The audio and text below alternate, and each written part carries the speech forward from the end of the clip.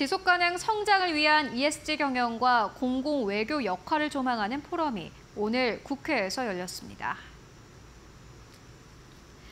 위원장인 김진표 전 국회의장은 이날 환영사에서 ESG 경영은 각 기업과 정부, 국제사회가 긴밀히 협력해야 하며 이를 위해 공공외교 역할이 중요하다며 한국은 무탄소 에너지와 아리백을 두고 논쟁보다는 가능한 모든 것을 우선적으로 해나가는 것이 필요하다고 말했습니다. 이날 포럼은 국내뿐 아니라 중국과 인도네시아의 ESG 사례 소개를 통해 ESG 실천을 위한 공공 외교의 역할을 짚고 협력 기회를 모색했습니다.